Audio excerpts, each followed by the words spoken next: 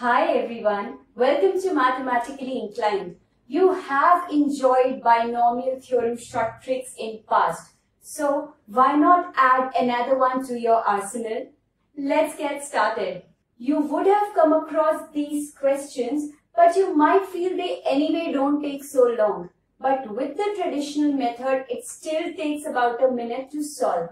What if I tell you a trick and we can solve this under 3 seconds? Yes, you know we can do it, so let the magic begin. So if you ever come across such question where you see two variables getting involved and you have to find the coefficient of such terms, what do we do? Well, the simplest thing is you write the two terms which are the part of the expansion. Now just focus on what do you have to find. You need to find x raised to power 6, write that on your own. You need to find y cube. So cube this on your own.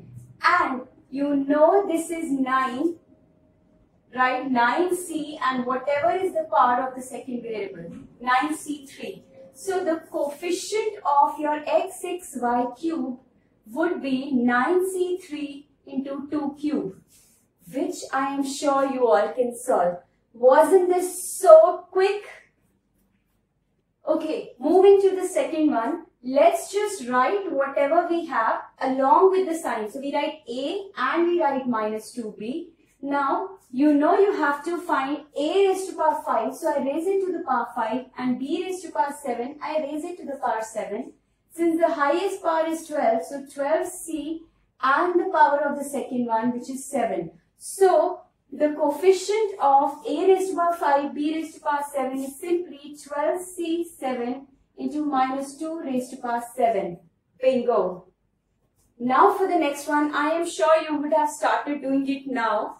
So, let's write these two. This is 5x squared into minus 2y cubed. Now let's focus. We need x raised to power 4. It's already square. So I just have to square over here so that the overall power of x is 4.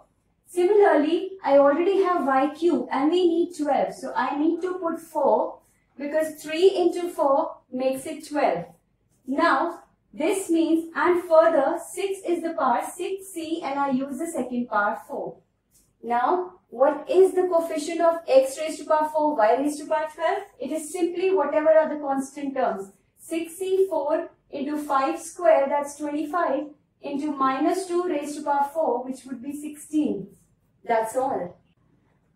Why don't you all pause the video and try this out for a moment and then come back? I am sure you all would have got the answer, but then let's just quickly do it. Rather, this is very easy because you just have x and you just have y. Here you want the power 8. Here you want the power 10 and it is 18C10. So you simply get the coefficient to be 18C10. So it's time for your challenge. Yes, this is the DIY or the do-it-yourself question. Please take a moment, see, and then you know the quickest three correct answers get named in my upcoming videos. Please have a look. Okay, I am sure you enjoyed this little time-saving hack. If you did, make sure to give this video a big thumbs up, share it with all the people around you, and if you haven't done that so far, make sure to subscribe to the channel for many more math videos. Check out the playlist on my channel for many more full concept and shortcut videos. See you with the exciting one very soon. Until then, bye-bye.